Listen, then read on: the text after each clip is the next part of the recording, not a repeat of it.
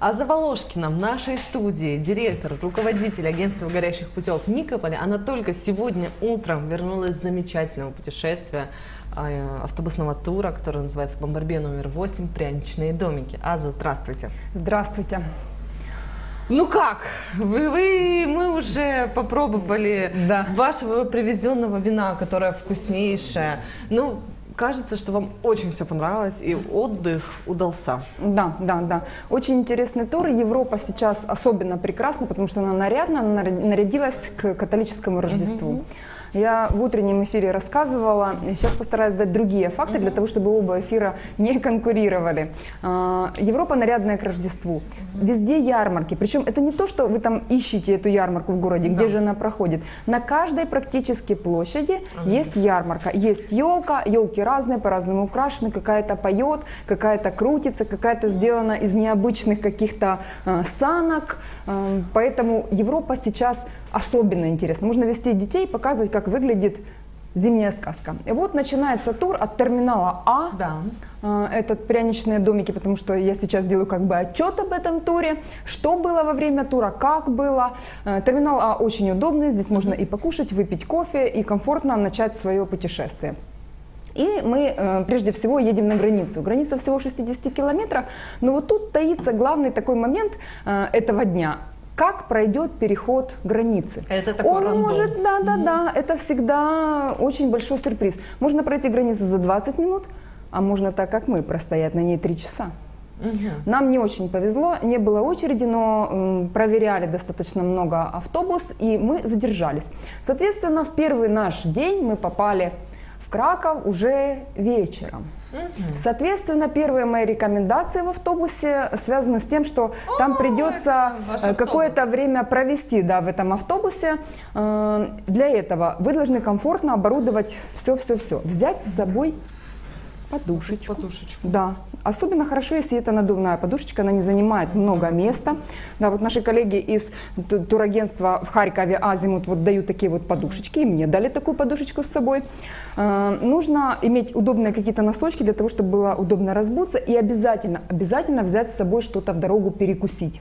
Я не говорю о том, что нужно брать с собой огромные сумки, но что-то перекусить должно быть. Водичка, да, и какие-то снеки, какие-то бутерброды должны быть, потому что у нас возможность покушать в этот день была аж в 17.00. То есть э, мы ну, так достаточно сильно проголодались. Во время поездки были остановки э, на санитарную зону. Я э, сняла, как это выглядит. Достаточно комфортабельные туалеты, совсем необходимы. Краков. Краков Скажи, бесподобен. Азочка, вот я видела места в автобусе по номерам. Да. Как э, вы рандомно, вот кто или кто захотел в первом, во втором, в конце? Я поняла вопрос. В случае э, с туром «Пряничные домики» это было абсолютно рандомно. Раз- мы- нас рассадили, у меня было десятое место, не в первом и не в последнем ряду, где-то посерединке. Но э, обычно в автобусных турах первые ряды продаются отдельно от э, остальных и стоят немножечко дороже. Соответственно, задние ряды, которые не раскладываются в сиденье, продаются немножечко дешевле. То есть э, тоже зависит от предпочтений. Кто-то любит слушать э, гида, который все время рассказывает какие-то факты о стране и садится впереди, кто-то садится сзади, потому что он любит общаться с друзьями, например. Да. То есть каждый Галерка. Да, галерки ставят свои цели. Э, Везде стоят еще сцены. Вот сейчас Да, да, вот видим. как раз вот в Кракове стояла огромная сцена, пел певец. Это все такое рождественское, рождественские украшения даже на каретах с лошадями. Все это так располагает к началу праздников, создает праздничное настроение. В Кракове э, такие грандиозные стоят бочки с горячим вином, множество людей гуляет по всем площадям. В Европе уже люди празднуют Рождество, можно сказать и так. Сто процентов новогоднее настроение. Сто процентов новогоднее настроение я привезла. И вот мы приезжаем в отель. В отеле э, в Праге были вот завтраки. Э, Комфортно, тепло. Э, Отель туристического класса расположен в Праге 6 был. И мы стартовали смотреть красавицу Прагу. Прага хороша всегда, в Рождество она хороша особенно. Погода нам выдалась благоприятная в Праге. Не было дождика, и можно было бродить и наслаждаться всей красотой Праги. Прага всегда была очень красивая. А в этот раз я из Праги привезла очень много... Кошка. Да, да, да, да, да. Я из Праги привезла очень-очень-очень много эм, всяких разных забавных фактов и историй. Да. И их можно даже э, будет загадывать как загадки. Давай. Вот, например, э, как ты думаешь, зачем на столбах в Праге такие вот таблички с номерами? Ох, ну первое, возможно, чтобы не потеряться, какое-то место встречи, какой-то ориентир. Да, это э, ориентир такой, что э, столбы в Праге пронумерованы именно за тем, чтобы в случае необходимости спасти человеку жизнь. Вот, например, он в парке где-то упал, как объяснить, где он? Или где-то что-то случилось, и как объяснить, куда приехать людям? И для этого все столбы пронумеровали, соединили в единую сеть, ты звонишь, да, в какую-то службу определенную, любая служба спрашивает, какой номер столба, который ближе всего расположен к вам. Вы говорите этот номер столба, и к вам приезжает помощь. Вот такой факт. Никогда не видела этих табличек с э, номерами. Еще один момент. Вот как ты думаешь, Жанночка, как эм, кто делал дизайн э, пражских трамваев? Ну, наверняка мне уже Саша Петеренко просто тоже был в этом туре но на самом деле я не знаю. А дизайн делал Porsche. Порш? Да. А собирали трамваи э, на Шкоде. Э, Трамваи есть старенькие, которые тарахтят э, по рельсам, как всегда, а есть новые, уже такие большие. Я их тоже снимала. Они очень забавные, красивые. Э, Прага еще интересна тем, что если ходить по улочкам, в любой, эм, скажем так, подворотне можно найти какие-то интересные вещи. Вот завернув в одну из подворотен, мы увидели огромную розу, шипы которой были из каблуков. Ну, то есть такие арт-объекты. Прага всегда вот нас сюрпризами. Вот как раз вот э, с дизайном Porsche. э, Porsche. Да, да, А да, Я- да, я как раз. Порше. Да, да, да, да, как раз это вот эм, об этом трамвае. Поэтому э, вот Прага, да все столицы Европы можно открывать для себя множество раз э, заново. То есть те же места открывают для себя какие-то новые вещи, э, смотришь на них, побывав несколько раз, видишь все новое, новое, новое. А старое напоминает старые да. эмоции, да, и оставляет теплую такую нотку. Э, в моем... э, любимом городе Праге живет моя подруга, которая уже 10 лет там, и э, она помогает всегда создавать для меня эту сказку, добавляет к ней теплых таких вот семейных ноток, можно сказать. Собор Святого Вита и легенда, которая связана самая красивая. В Праге нужно загадывать желания. А Ян Непомуцкий, который исполняет это, э, желания эти, как раз он в этом храме и похоронен. Там серебряный саркофаг. Э, Пражане очень любят это место, очень любят и чтят Яна Непомуцкого. Так вот, на Карловом мосту, не устаю подтвер- вот рассказывать, как нужно правильно загадывать Да. желание. Становишься правой ножкой на кнопочку, левую кладешь на крестик, загадываешь желание. Причем желание должно быть продумано. Вот, все, 100%. вот сто процентов. Нельзя загадывать там э, что-то. Да, да, да. Потому что рандомный результат будет рандомный. А так, вот моя подружка э, утверждает, что каждый год исполняется одно желание. Слишком много попросишь, получила 80% исполнения. Все остальные исполнились полностью. Вот после того, как мы эм, загадали желание, мы идем, наверное, метров 25 и эм, чтим память Яна Непомуцкого, который погиб за простой народ, которого народ любил очень. И эм, доходим до места, где как раз сцена изображена на Карловом мосту, где его сбрасывают с этого моста, трем эту фигурку, и он исполняет все наши желания. Вот такой вот ритуал Да, а, да, да, да, да, рассказала да, да. нам, поделилась. Обязательно его где-то запишите в вашем смартфоне, Есть, я телефоне. все записала, и все эти съемки привезла, и записала э, все эти моменты. Вот я нашла для себя на соборе Святого Вита изображение э, знаков зодиака. Да. Да, вот для меня это было новое. И открыла для себя еще одну хотелку, к которой вот мы сейчас придем. А, Раньше возле Карлова моста э, там всегда жили лебеди. Их там была парочка или четыре лебедя, немного. Сейчас мы тоже отправились в это место. И что мы увидели? Нас встретили лебеди в количестве ну, каком-то огромном. Их было, наверное, сотня этих лебедей. Они выходят прям к людям, выходят далеко в город. А, да, их можно кормить. Это очень забавно, да. А вот как раз трделык. Ой, Помнишь, я в одном из эфиров говорила, да, что я не расскажу, что такое трделк, потому что его надо Надо попробовать, попробовать. именно там. Да, это корка. Трделник э, это вот корка, которая запекается, э, ее посыпают орешками, сахаром на сладкое, неимоверно вкусно. И вот такой перекус трделник и э, глинтвейн – это самое распространенное, чем можно прекрасно перекусить на улице. Сколько Пока дойдем до стоит такой ресторана. тартелек и глинтвейн? Средняя вот стоимость, ты говоришь, чтобы огромная Бочка. Это в Кракове была огромная Да. бочка, в Праге на каждом шагу бочки поменьше. Поменьше. И стоит это приблизительно от 40 до 60 чешских крон. Это приблизительно цена наша в гривнах. Ну, то есть 40-60 гривен стоит стаканчик глинтвейна. Это подогретое горячее вино со специями, с апельсином. Оно очень... Прага пропитана сейчас запахом горячего вина и вот этих вот корок, э, которые пахнут очень сладко, ванильно и э, дополняют. Прага вообще очень теплый город. Он эм, рыжий, похожий. Все домики, недаром пряничные домики, потому что вот эти домики, они, они пряничные, Пряничные. реально пряничные. И пряничные домики были на каждой из ярмарок, где я побывала. Мы заходили в отель «Шератон», и там прям вот в отеле «Шератон» стояли пряничные домики. Я везде натыкалась на пряничные домики. Вся Прага, весь Краков, вся Вена. Вот как раз этот столб с номером. Номером. Да, да, да. Ого, 10 э, Да, их тысяч очень много. там. Пронумерованы реально все э, дома в Праге. Вот он мега современный трамвай, который... Да, да, да, вот такие автомобили колесят по Праге, очень многие люди самовыражаются. Вот эта роза с каблуками, из, да, шип- с шипами из каблуков, о которой я рассказывала. Очень, э, очень теплые оставляет Прага впечатление. Но о Праге я много раз рассказывала. В этот раз я для себя заново открыла Вену. Если для меня э, раньше Вена была это э, город Сиси, Да. Она осталась такая же красивая, такая же имперская, такая же очень м, пом- да, помпезная, очень такая ам, большая, грандиозная, да, роскошная, грандиозная. Э, Я много интересных фактов привезла про Вену. 25% э, австрийцев живут в Вене. У них 15 зарплат.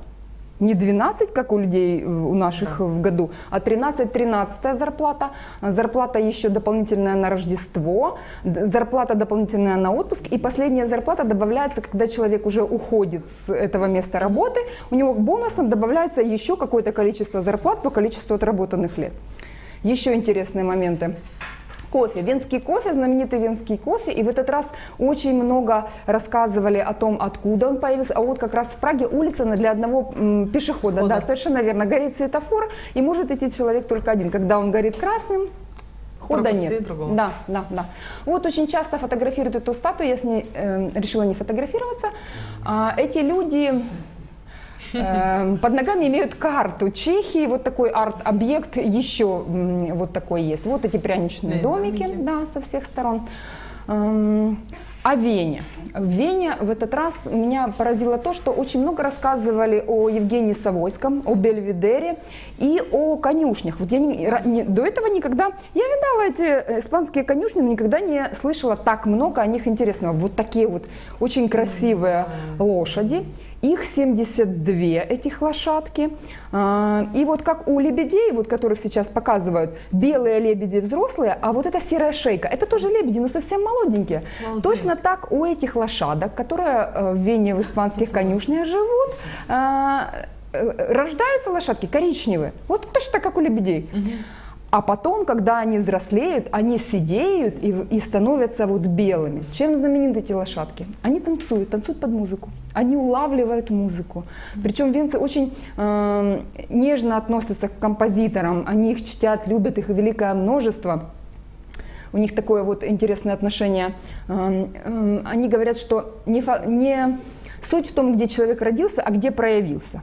Соответственно, они отбрасывают, что Гитлер родился в Австрии, но говорят, что Бетховен это наш композитор, потому что он проявился в Австрии. Эм, Очень, очень они любят композиторов. Так вот эти лошадки танцуют как раз вот под музыку.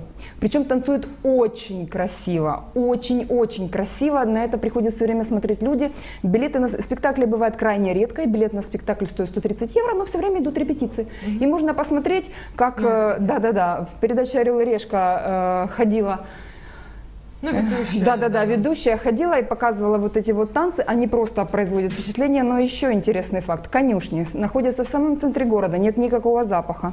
Правительство выделяет огромные средства на финансирование этих конюшен. Э, Коней водят в солярий, водят на массаж. У каждой лошадки есть свой диетолог, который формирует его Рацион. рацион, да, следит за его здоровьем очень четко. Э, Отправляют их в отпуск. Откуда они возвращаются точно как мы с All с дополнительными А, килограммами. Да, да, да. И им тогда назначают особую диету, их держат на морковочке, на мюслях, да, и чтобы они пришли обратно в форму и смогли выступать вот в этих выступлениях. 72 белые лошадки и одна черная. Вот эти липицианеры э, являются одним из символов Вены, который сейчас очень-очень шут. Вот как раз его показывают, этого липицианера. Вот он, да, выглядывал из королевской конюшни и для нас тоже такие милые лошадки, которым завидовала вся группа.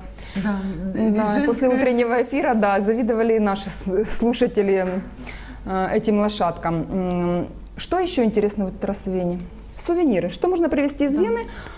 Эм, Несколько раз я была в Вене и какие кадры рождественские. Рождество, везде вы Рождество, все сняли. прописано. Как круто. Вот все очень такое яркое, милое, сказочное, везде звучит музыка. Вся Европа нарядилась к Рождеству. Сувениры.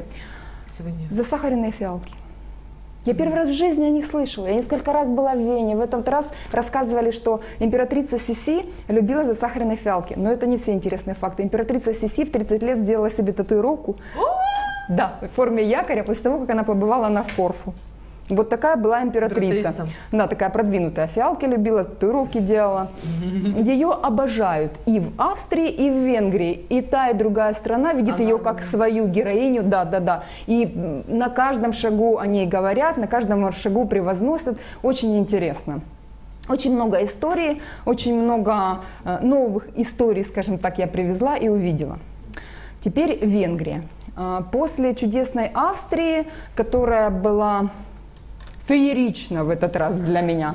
Тур длился сколько дней? Четыре всего. Четыре дня, но ты ра- Пять городов и четыре страны. Да, да, О, да, да. так вообще, да, чтобы что-то не успеть. Да, да, да. Вот мы плывем на кораблике как раз. А, Это в Будапеште. И Будапешт в огоньках вот вечером, он вот такой потрясающий. Тоже э, такое ощущение, что его нарядили к Рождеству. Такая красивая картинка. Очень красиво, очень нарядно. Очень приятная экскурсия с шампанским, да. Величественное здание. Очень интересные факты дает экскурсовод. Хорошая экскурсия. И релакс, и красивые виды, и красивые фото, и э, очень много теплых то- тоже оставляет воспоминаний. А м, Будапешт, он такой элегантный, не такой мягкий и близкий, как Прага, но очень красивый и очень он заставляет захотеть вернуться. Вот как раз вот это съемки парламента, какой он огромный, это самый большой парламент в мире. Да. Его можно рассказывать э, о нем тоже бесконечно, снимать бесконечно. Это прекрасно. Очень хороший был э, отель у нас в Будапеште, куда мы попали после вот этой вот прогулки. Прям вот очень хороший, очень комфортный, с очень хорошим завтраком, тоже имеющий все абсолютно необходимое, с хорошим холлом, да. Хорошие были завтраки в Вене, да, Ну, давали. можно перекусить, набраться Да, сил да, да, да, да, на целый день можно набраться сил. И вот макет э, был самого отеля, и отель выглядит, вот как раз макет, м, и отель вот выглядит вот так, и э, достаточно комфортен. Четвертый день, Это такое впечатление, что это уже день десятый. А, это был калейдоскоп таких впечатлений. Вот как раз начался четвертый день, и это термальные купальни в городе, который называется Эгер. Термальные купальни, как-то я представляла себе их несколько иначе. Я представляла, что это небольшой какой-то термальный бассейн, а это огромный комплекс. Очень красивый. Вот э, как раз вот идет пар. Это место, где расположены вот места, где ты находишься. И это очень красиво. Эм, Очень красивые получились фотографии. Вода горячая-горячая. Совершенно не слышно, что ты на свежем воздухе. Есть закрытые купальни, есть открытые купальни. Но лучше Люди плавают. А, да, в открытой это, это очень приятно, очень интересно, очень производит впечатление, очень неожиданные ощущения. А, Сами по себе эти купальни огромные. Они интересны будут и для детей, и для взрослых. Правда, мы как дети тоже накатались на горках. Горках. Да, там есть и горочки, и много разных бассейнов с разной температурой. Но везде вода термальная, и она лечебная. Собственно, это водолечебница, куда люди ездят лечиться. Они ведут сю- сюда а, свои суставы для лечения. А, Мало того, что это неимоверно приятно, особенно приятно, потому что три дня ножки ходили по... Переезды. Да, да, да, все эти переезды, поэтому очень было приятно посетить э, термальные купальни. Вот. вот, вот эта картинка их сравнивают с турецким памукале. Да. То есть вот эти белые травертины кальциевые очень напоминают травертины такие же в памукале. Я вверх ногами рассказываю что-то интересное. Ну ничего, А, всё. да, Я да, думаю, да. что обязательно будет еще материал, который... О впечатлениях. Что нужно с собой Выбрать. обязательно взять с собой? Первое – это Powerbank. Потому что, чтобы снять эту массу впечатлений, нужно постоянно Держать быть, телефон да, да, да, держать телефон на зарядке. Поэтому я просто носила за собой Powerbank, и как только заканчивалась на бесконечных съемках зарядка, я пыталась э, заряжать телефон, да, да, да, для того, чтобы все-все-все снять, не упустить никакие детали и рассказать для наших зрителей все самое интересное и нужное, главное. Нужно обязательно с собой взять рукавички, потому что в Европе континентальный такой климат, и кажется, что тепло, но хорошо быть хорошо одетым. Да, две пары обуви, повторяю и не устаю повторять, они обязательно нужны. Вот И Две пары обуви. Две пары обуви, не дай бог, одна про- промокла. Нужно вторую переобуться, а вторая, э, та высохнет, да. Э, Очень хорошо иметь с собой селфи-палку для того, чтобы все это снимать.